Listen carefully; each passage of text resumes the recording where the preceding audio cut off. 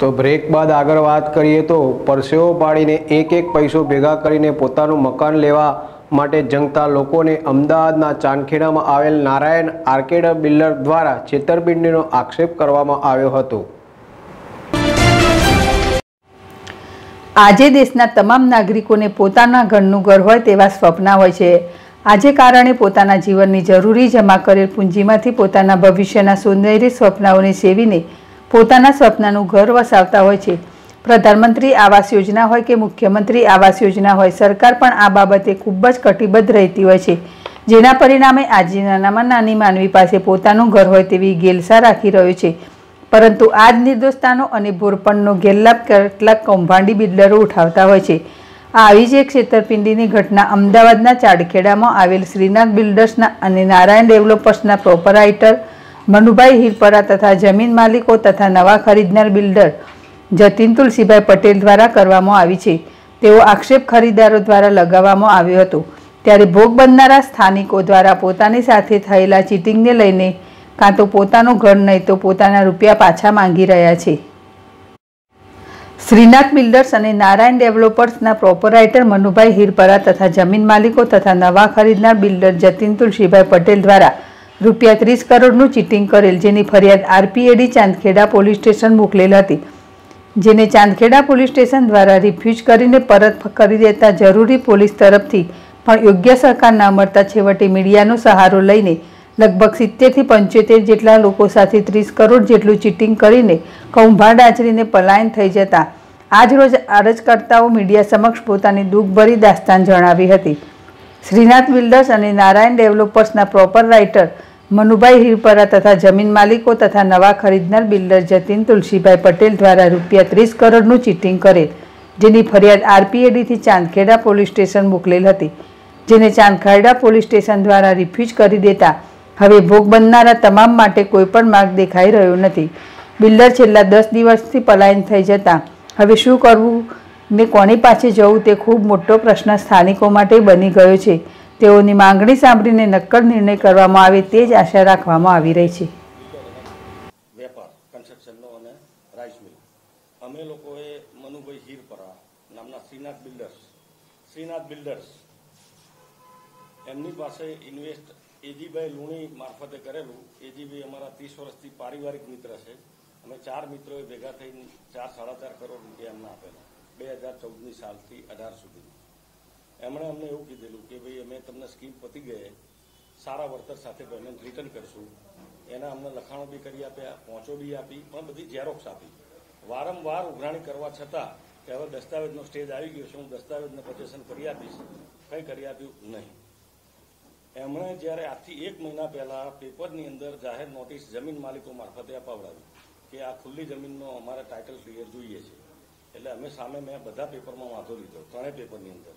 દિવ્ય ભાસ્કર, સંદેશ જનસત્તા ત્રણેય પેપરની અંદર મેં જાહેર નોટિસ આપી કે ભાઈ અમારો હક હિસ્સો પોસાય છે. છતાંય બિલ્ડરનો ક્યાંય નામનો ઉલ્લેખ થયો નહીં. મનુભાઈના નામનો ક્યાંય નહીં. અને ખેડૂતોએ બીજી party Jatinbhai builder, Shiv builder, Jatinbhai Tulsibhai Patel ને દસ્તાવેજ આજથી દસ અઠવાડિયા પહેલા કરી આપ્યો. આજથી એક વીક પહેલા. એમાં ખુલ્લી જમીન બતાવી. આ બિલ્ડિંગનો કોઈ પણ ઉલ્લેખ કર્યો નહીં. વાસ્તવમાં આ બિલ્ડિંગ ચાર વર્ષથી પાંચ માળનું બનેલું છે. અમે અમને ઘણા લોકોને પહોંચો આપેલી છે. ઘણા લોકોને એકના એક ફ્લેટ, એકની એક દુકાનો એલોટ કરેલી છે.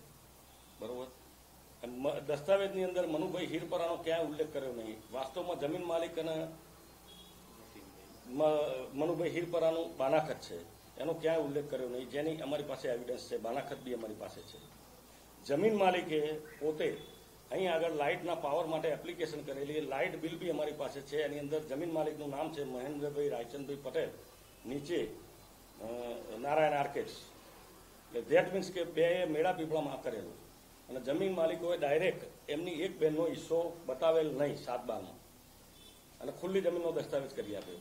એટલે મનુભાઈ હીરપરા, જમીન માલિકો અને નવા બિલ્ડરે ત્રણેય મેળા પીપળામાં આ દસ્તાવેજ કરી લીધો. એની સામે મેં કોર્ટમાં ગાંધીનગર દાવો કર્યો, કોર્ટ કમિશન કરાવ્યું, લીઝ પેન્ડન્સી દાખલ કરી. મેં એકલાએ. કારણ કે મારા બીજા ચાર મિત્રો મારી સાથે જે હતા, બધાને ખર્ચો ડબલ કરાવવો નહોતો, એટલા માટે મેં આ કર્યું નહીં. પોલીસ રજૂઆત કરવા માટે એકવાર અમે રૂબરૂ ગયા હતા તો રાઇટરશ્રીએ એવું કીધું કે ભાઈ પીઆઈ સાહેબને મળી લો, અમારા એફઆઈઆરનો કોઈ પાવર કે તમારી કોપી રિસીવ કરવામાં નહીં આવે. એટલે મેં આરપીએડી કરાવડાવી. આરપીએડી રિફ્યુઝ થઈને પરત આવી. આરપીએડી રિફ્યુઝ થઈને પરત આવી. અંદાજે લગભગ મારી પાસે જે પહોંચો છે, એમાં સિત્તેરથી પંચોતેર લોકો છે. એમની સાથે લગભગ પચીસથી ત્રીસ કરોડ રૂપિયાનું ચીટિંગ થયેલું છે. અહીં અત્યારે ત્રણ લોકો હાજર જે છે, એ બીજા પાંચેક કરોડ રૂપિયાનું થાય છે. જે અહીં હાજર છે, જેની પાસે પહોંચોની રિસિપ્ટ છે. એક રિટાયર કર્નલ છે. એમની સાથે પોણા બે કરોડનું ચીટિંગ થયેલું છે. આ બાજુમાં બેઠા છે ડૉક્ટર સાહેબ છે. એમની સાથે સાડા નવ કરોડ, લાખ રૂપિયાનું ચીટિંગ થયેલું છે. બીજા એક પ્રજાપતિભાઈ અહીં આવેલા છે, એમની સાથે સત્તાણું લાખ રૂપિયાનું ચીટિંગ થયેલું છે. બે ક્રાઇમ બ્રાન્ચના ઓફિસરો છે, પીએસઆઈ છે. એમનું બી સારા એવા પૈસાનું ચીટિંગ થયેલું છે. એ બી આજે સીઆઈડી ક્રાઇમમાં ફરિયાદ આપવાના છે. બિલ્ડરે પંદર દિવસ પહેલા, વીસ દિવસ પહેલાથી એનું ઘરે તાળું મારેલું છે. બીજા દિવસે ત્યાં મણિનગર કાંકરિયા બેંકની નોટિસ લાગેલી છે. હવે આગળની રણનીતિની અંદર અમારા બધાના પૈસા, આ બિલ્ડિંગ નવો બિલ્ડર એવું કહે છે, રાજકીય વગવાળો માણસ છે, એવું કહે છે કે હું ત્રણ ચાર દિવસમાં બિલ્ડિંગ પાડીને તમને પજેશન આપી દઈશ. નવો બિલ્ડર જે છે જતીનભાઈ તુલસીભાઈ પટેલ એવું કહે છે કે હું ત્રણ દિવસમાં બિલ્ડિંગ નેટ એન્ડ ક્લીન કરીને પાડી દઈશ. એવી વાત કરી પાંચ ફ્લોરની બિલ્ડિંગ છે સાહેબ. પજેશન તો સાહેબ કેવી રીતે આપવાનો છે? અમારા એની જોડે કોઈ લેવા દેવા જ નથી ને સાહેબ. અમારું તો ચીટિંગ થયેલું છે સાહેબ. દાવો કરેલો છે કોર્ટ કમિશન કરાયું છે લીઝ પેન્ડન્સી દાખલ કરેલ છે. જેના પુરાવો આપને આપી શકું છું. કોર્ટ હજુ સાહેબ દાવો દાખલ કરેલો છે. હજુ તો કોર્ટ બધાને બજાવણી કરશે એમના જવાબ આવશે. આ બધી પ્રોસિજર વિધિન ટેન ડે દસ દિવસની અંદર થયેલી છે. એ પુરાવા બોલે છે બેંક એકાઉન્ટ બેંકના સ્ટેટમેન્ટ રોકડાવાળાના રોકડા એ લગભગ ત્રીસેક કરોડ રૂપિયા ઉપર જાય છે. લોકો લગભગ સિત્તેર આસપાસ સિત્તેર પંચોતેર લોકો છે. ડૉક્ટર દીપ ઠક્કર વ્યવસાય ડૉક્ટર ક્લિનિક ચલાવું છું. બસ અમારું બી સેમ આપણે જે સાહેબ સાથે થયું છે એ રીતે જ કે અહીંયા અમે દુકાન માટે સાડા નવ લાખ મેં ચેકથી પે કરેલા છે.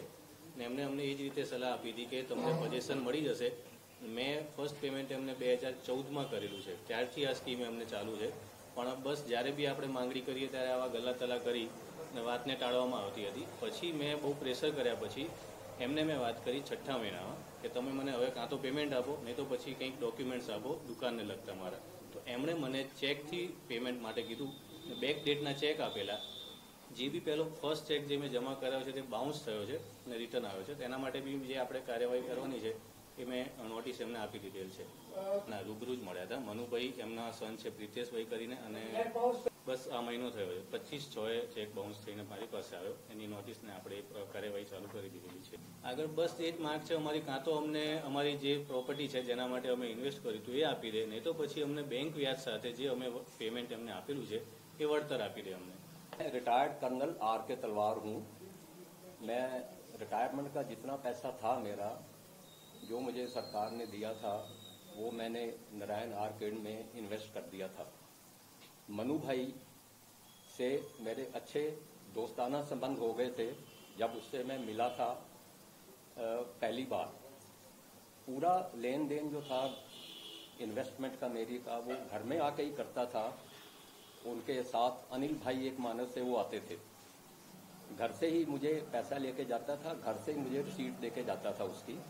और मेरे पास इस टाइम पे छः फ्लैट का अलॉटमेंट लेटर है और पाँच दुकानों का अलॉट अलॉटमेंट लेटर है, जिसका मैंने पैसा उसको दे रखा है तकरीबन पौने दो करोड़ रुपया 1.75 करोड़। देखिए, मैं सीनियर सिटीजन रिटायर्ड पर्सन हूँ। मुझे तो यही है कि या तो यहाँ मुझे मेरी जो प्रॉपर्टी मैंने ली है फ्लैट्स और दुकान, वो मिल जाए, ताकि मैं कोई व्यवसाय धंधा शुरू करूँ।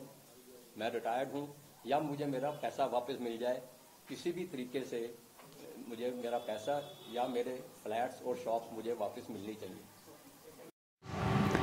ધ્વનિ પંચાલ જેડેશ ટીવી અમદાવાદ